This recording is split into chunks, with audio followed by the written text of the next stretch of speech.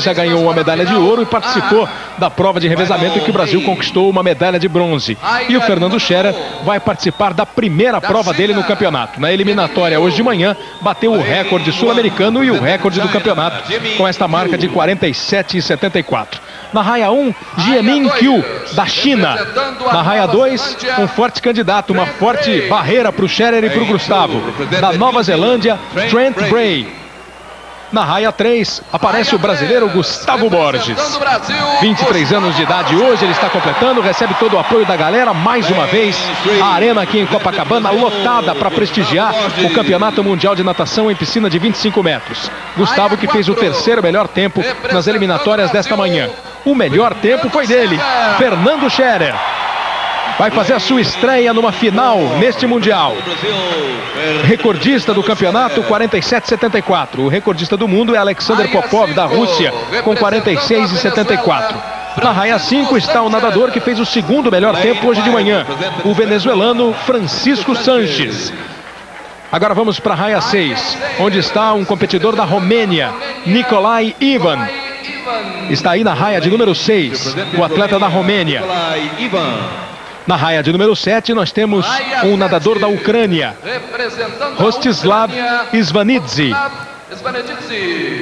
Aí está ele, Rostislav Isvanidze, da Ucrânia, raia 7. E completando os oito participantes desta prova, Fredrik Letzeler, da Suécia.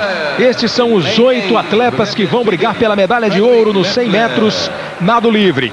O Brasil, no último campeonato mundial, no primeiro mundial de piscina curta em 93, faturou duas medalhas de ouro, uma de prata e uma de bronze. Uma das medalhas de ouro foi exatamente nesta prova com o Fernando Scherer. Este ano nós já temos duas medalhas, uma de ouro com o Gustavo Borges nos 200 e uma de bronze no revezamento 4 por 200 para os homens. O Gustavo Borges participou. Agora é o momento da concentração final de cada atleta. Você fica ligado na tela, de cima para baixo no vídeo, as raias de 1 a 8. Na raia de número 3, o Gustavo Borges. Na raia de número 4, o Fernando Scherer. Vamos então. O momento final de concentração, eles já estão na plataforma, eles vão para a largada. São 100 metros.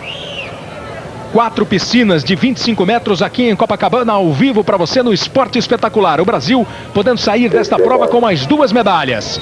Aí vem a largada. E o público vibrando, nadando junto com Scherer e Gustavo.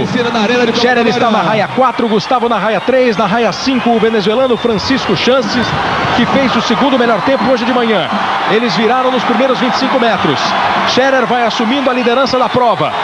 Gustavo e Sanches vão brigando pela segunda posição. Completam 50 metros. Vão para mais duas voltas na piscina. Gustavo ameaça já a liderança de Scherer. A briga está entre os dois brasileiros. Pode dar ouro e prata para o Brasil. Fernando Scherer na raia 4. Gustavo Borges na raia 3. É a última virada. São os últimos 25 metros. Na primeira colocação, Gustavo Borges. Em segundo, Fernando Scherer. Em terceiro, o venezuelano Sanches. Eles vão chegar. Scherer e Gustavo. Gustavo e Scherer. Bate na primeira posição. O brasileiro. Fernando Scherer com Gustavo Borges em segundo, Sanches em terceiro. São duas medalhas para o Brasil. Medalha de ouro para Fernando Scherer, medalha de prata para Gustavo Borges. Está aí um abraço dos amigos, dos principais nadadores do Brasil. Uma grande prova, uma dobradinha, 47 e 97. O tempo do, do, do Scherer não dá recorde do campeonato, nem dá recorde mundial, mas dá dobradinha do Brasil nos 100 metros nado livre. Ouro para Fernando Scherer, prata para Gustavo Borges. Duas grandes medalhas mais para o Brasil no campeonato. A medalha de bronze ficou com o venezuelano Francisco Chances. O Brasil já vai para quatro medalhas no campeonato. E você continua com o esporte espetacular.